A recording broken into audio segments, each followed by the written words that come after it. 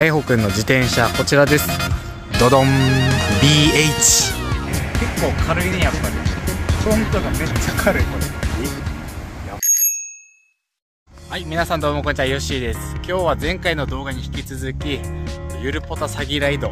ゆるポタ詐欺ライドって失礼だ。な もうサイクリング詐欺ライドだなあれ後半の僕もちぎれて一緒に走ってたこの海保くんと一緒に走ってたんですけど、まあ、今回せっかくなので動画動画で紹介するのは初めてですのでこの彼の自転車の紹介をしたいと思います。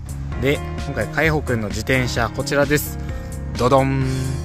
BH ちなみにこれ何ていうモデルか分かりますか？いや、いないとか。え？何やって？多分このこっちに書いてるウルトラライトだったな確か一回調べたことあるんだよななんか BH の軽量オールラウンドモデル。なんとにかく軽くて合成が強いっていうイメージがある。じゃあいろいろ機材なども紹介紹介していきましょう。一番コンポの目玉って言ったらこちらのクランクですね。クランクデュラエースのこれ R9000 シルバーのクランクかっこいいな。で波数が523638か。フロントディレイラーもシマノデュラエース R8000 スプロケはシマノのなんかな？島野の。てんてんてん。まあでも、まあ、11足だから105かデュラエースの間だろうね。でチェーンに関してはめっちゃドロッドロになってるけど。まあこれもチェーンのねグレードもわかる？本当に機材に関してあまりあんまり。えー、逆に珍しい。でペダルに関してはおデュラエースじゃないですか。いいもの使ってる。うわ回転滑らか。すげえ。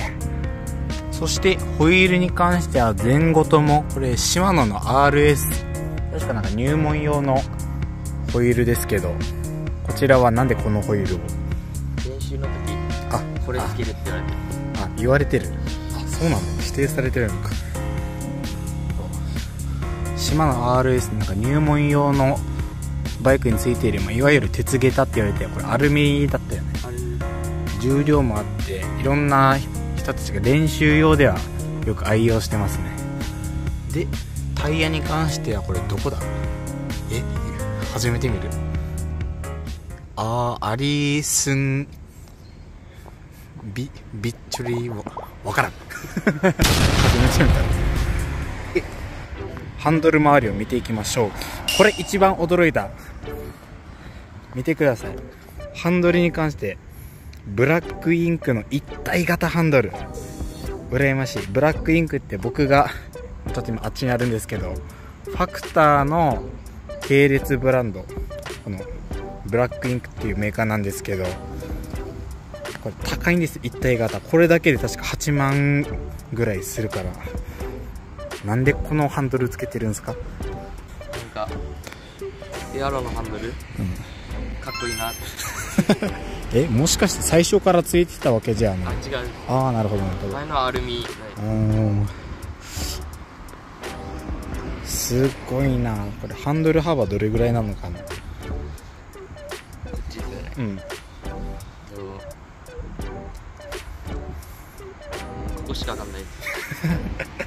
まあ多分400じゃないああそう400ミリで長さが 100? 100です。いいねでシフトレバーに関してはこれ9100のデュラエースそしてブレーキも紹介するの忘れてました。このシマノデュラ S9000 やっぱこのシルバーかっこいいな。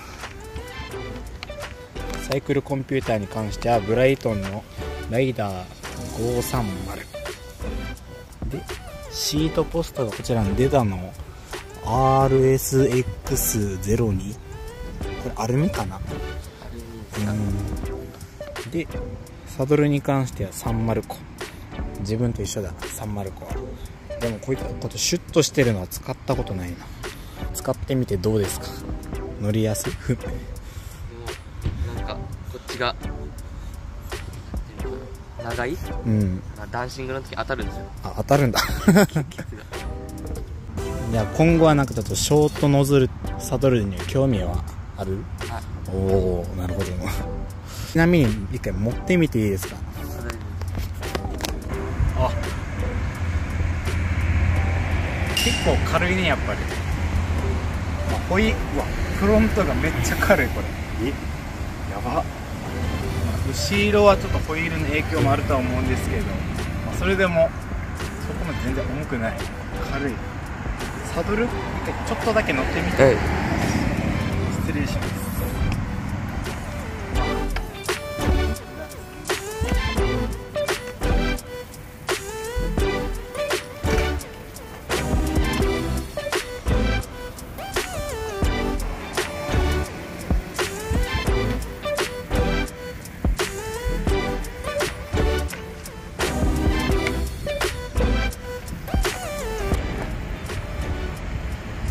あそうだねハンドルが僕的にはハンドル幅がちょうどぴったしで振りやすいいいねめっちゃ軽い。いいな。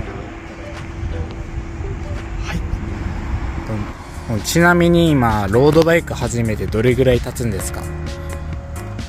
高校からやったらまだ1年。ってこと今は高校1年生。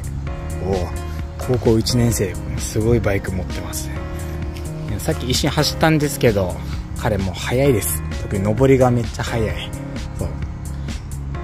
ちなみに今後大会などは出る予定はありますか？うんあります。目指せ来年ツール・ド・沖縄は？来年100キロ自おお体が100キロか。そう。では今回は高校1年生海保くんの自転車紹介でした。皆さん彼の応援よろしくお願いします。お疲れ様でした。そして今回佐久間が新しく変えた自転車はこちらです。ドドン。黒。その他のパーツたちで余裕にその値段超えますからね。ここにフレーム以外が全てハイエンドパーツ。